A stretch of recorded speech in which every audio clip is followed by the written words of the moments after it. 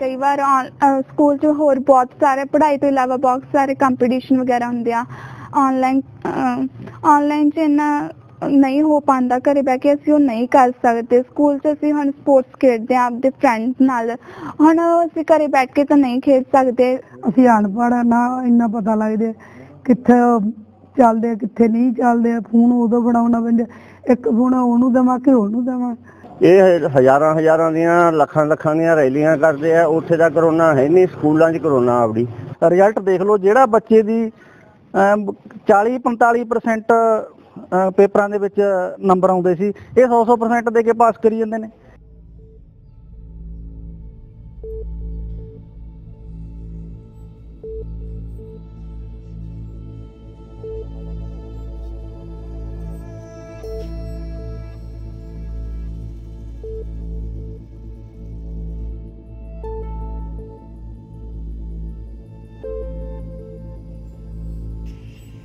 Board ਤਾਂ ਇੱਧਰਲੇ ਪਾਸੇ ਨੇ ਬੋਰਡ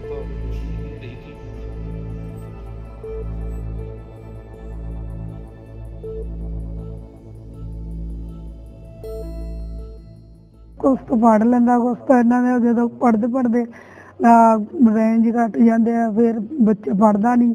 ਖੇਡਾਂ ਵੱਲ ਨਹੀਂ ਆਵੜਦੇ ਆ, ਬੱਚਾ ਮ- ਕਿਤੇ ਕੰਧ ਤੇ ਤੁਰੀ ਫਿਰਦੇ ਆ, ਬਸ ਬਾਹਰ ਅੰਦਰ ਤੁਰੀ ਫਿਰਦੇ ਆ ਕਲਾਸ ਪੂਰਾ ਨਹੀਂ ਲੱਗਦੇ ਆ। ਖਰਚਾ ਵੀ ਪੂਰਾ ਦਿੰਦੇ ਆ ਆ, ਫੀਸ ਵੀ ਭਰਦੇ ਆ। ਘਰੇ ਪ੍ਰਾਈਵੇਟ ਤੇ ਜ਼ਿਆਦਾ ਪੈਸਾ ਲੱਗਦੇ ਆ ਕੀ ਕਰਾਂ ਉਹਨੇ ਇੰਨਾ ਕਮਾਈ ਨਹੀਂ ਜਿੰਨਾ ਖਰਚਾ ਹੁੰਦਾ ਇਹਨਾਂ ਤੇ ਸਕੂਲ ਖੋਲਣਾ ਚਾਹੀਦਾ ਜਲਦੀ ਤੋਂ ਜਲਦੀ। ਬੱਚੇ ਦੇ ਪੇਪਰ ਆਉਣ ਵਾਲੇ ਆ ਪੇਪਰ ਤੇ ਕੀ ਰਹਿਣਗੇ ਜਦੋਂ ਪੜ੍ਹਾਈ ਨਾ ਕਰੇ? ਪੂਰਾ ਫਿਕਰ ਆ ਜੀ ਮੇਰਾ ਖੁਦ ਦੋਤਾ ਹੈ। 2 ਸਾਲ ਹੋ ਗਏ ਉਹਨੂੰ ਘਰੇ ਬੈਠੇ ਨੂੰ। ਪਹਿਲਾਂ ਉਹ ਫਸਟ ਸੈਕਿੰਡ ਆਉਂਦਾ ਸੀ, ਜਿਹੜਾ ਜਮਾ ਉੱਲੂ ਬਣ ਗਿਆ ਘਰੇ ਰਹਿ ਕੇ। ਟਿਊਸ਼ਨਾਂ ਤਾਂ ਪੜਾਉਣੀਆਂ ਜੀ ਟਿਊਸ਼ਨਾਂ ਮਹਿੰਗੀਆਂ ਬਹੁਤ ਜ਼ਿਆਦਾ ਆ, ਇੰਨੇ ਸਾਡੀ ਪਹੁੰਚ ਤੋਂ ਬਾਹਰ ਆ, ਇੰਨੇ ਖਰਚੇ ਅਸੀਂ ਦੇ ਨਹੀਂ ਸਕਦੇ। ਕੋਈ ਸਿਆਸੀ ਲੀਡਰ ਇਸ ਬਾਰੇ ਬੋਲਦਾ ਨਹੀਂ ਵੀ ਇਹ ਸਕੂਲ ਖੋਲਣੇ ਚਾਹੀਦੇ ਆ।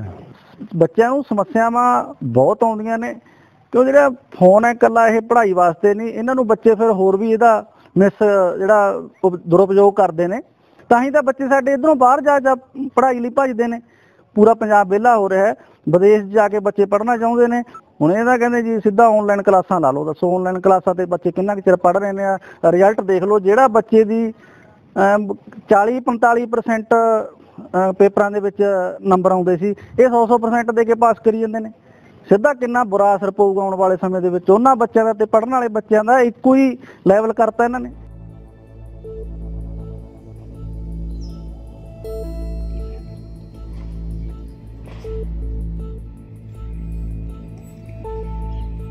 ਆਨਲਾਈਨ ਕਲਾਸਿਸ 'ਚ ਇੰਨੀ ਸਮਝ ਨਹੀਂ ਲੱਗਦੀ, ਜਿੰਨੀ ਕਿ ਆਫਲਾਈਨ ਕਲਾਸਿਸ 'ਚ ਸਮਝ ਲੱਗਦੀ ਹੈ।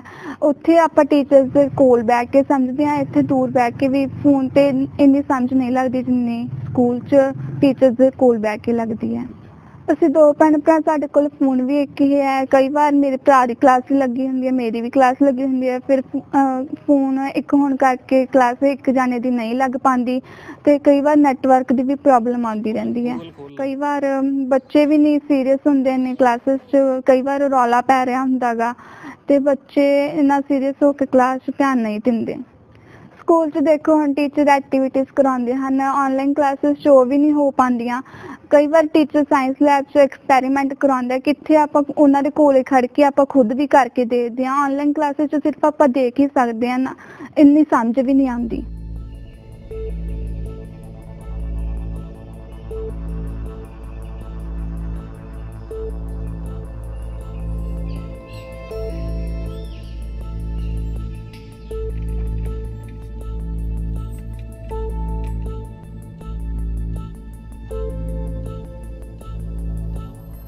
ਇਲੈਕਸ਼ਨ ਦਾ ਕਹੀ ਜਾਂਦੇ ਨੇ ਕਿ ਵੀ 500 ਬੰਦਾ ਕਰਤਾ 1000 ਕਰਤਾ। ਸਕੂਲਾਂ ਵੱਲ ਬਿਲਕੁਲ ਵੀ ਸਰਕਾਰ ਧਿਆਨ ਨਹੀਂ ਦੇ ਰਹੀ ਜੀ। ਸਾਡੀ ਇਹੀ ਬੇਨਤੀ ਹੈ ਵੀ ਜਲਦੀ ਤੋਂ ਜਲਦੀ ਸਕੂਲ ਖੋਲੇ ਜਾਣ ਜੀ। ਆਪਾਂ ਇਦਾਂ ਕਹਿੰਦੇ ਵੀ ਕੋਈ ਵੀ ਸਿਆਸੀ ਪਾਰਟੀ ਹੈ, ਚਾਹੇ ਕੋਈ ਵਿਰੋਧੀ ਧਿਰ ਚ ਚਾਹੇ ਕੋਈ ਮੰਨ ਕੇ ਚੱਲ ਸਰਕਾਰ ਚ ਹਰ ਇੱਕ ਨੂੰ ਇਹ ਮੁੱਦਾ ਉਠਾਉਣਾ ਚਾਹੀਦਾ, ਪਰ ਕੋਈ ਵੀ ਨਹੀਂ ਬੋਲ ਰਿਹਾ ਇਹ ਮੁੱਦੇ ਤੇ ਜੀ। ਆਪਦੇ ਆਪਦੀ ਡਬਲੀ ਵਜਾਈ ਜਾਂਦੇ ਜੀ ਸਾਰੇ। ਸਭ ਤੋਂ ਪਹਿਲਾਂ ਬੱਚੇ ਦਾ ਬੌਧਿਕ ਵਿਕਾਸ ਹੈ ਇਹਦੇ ਨਾਲ, ਬਿਲਕੁਲ ਰੁਕਣ ਦੇ ਕਿਨਾਰੇ ਆ ਗਿਆ। ਬੱਚਿਆਂ ਦੇ ਵਿੱਚ ਫਿਜ਼ੀਕਲੀ ਐਕਟੀਵਿਟੀ ਹੈ ਜਿਹੜੀ ਉਹ ਬੰਦ ਹੋਈਆਂ ਪਈਆਂ ਨੇ। ਬੱਚੇ ਮੋਟਾਪੇ ਦਾ ਸ਼ਿਕਾਰ ਹੋਈ ਜਾਂਦੇ ਨੇ ਡਿਪਰੈਸ਼ਨ ਦਾ ਸ਼ਿਕਾਰ ਹੋਈ ਜਾਂਦੇ ਨੇ ਘਰੇ ਬੈਠ ਕੇ। ਦੂਸਰਾ, ਜੇ ਦੇਖੋ ਇਹਦੇ ਇੰਟਰਨੈਟ ਦੇ ਚੰਗੇ ਪ੍ਰਭਾਵ ਨੇ, ਉੱਥੇ ਦੇ ਬੁਰੇ ਪ੍ਰਭਾਵ ਵੀ ਨੇ। ਸਕੂਲਾਂ ਦੇ ਵਾਸਤੇ ਵੀ ਕੋਈ ਤਰੀਕਾ ਅਪਣਾਉਣਾ ਚਾਹੀਦਾ। ਇਹ ਨਹੀਂ ਹੈਗਾ ਇੱਕਦਮ ਸਾਰੇ ਸਕੂਲ ਬੰਦ ਕਰ ਦਿਓ ਔਡ ਨਾਲ ਵੀ ਖੋਲੇ ਜਾ ਸਕਦੇ ਨੇ। ਬਾਕੀ ਸਕੂਲਾਂ ਦੇ ਜਿਹੜੇ ਕੈਂਪਸ ਨੇ, ਉਹ ਬਹੁਤ ਖੁੱਲੇ ਹੁੰਦੇ ਨੇ। ਫਿਜ਼ੀਕਲੀ ਐਕਟੀਵਿਟੀ ਜਦੋਂ ਬੱਚਾ ਕਰੂਗਾ ਇਮਿਊਨਿਟੀ ਉਹਦੀ ਡਿਵੈਲਪ ਹੋਊਗੀ, ਨਾ ਕਿ ਡਿੱਗੂਗੀ। ਘਰ ਬੈਠ ਕੇ ਇਮਿਊਨਿਟੀ ਲੋ ਹੋ ਸਕਦੀ ਹੈ, ਬਣ ਨਹੀਂ ਸਕਦੀ।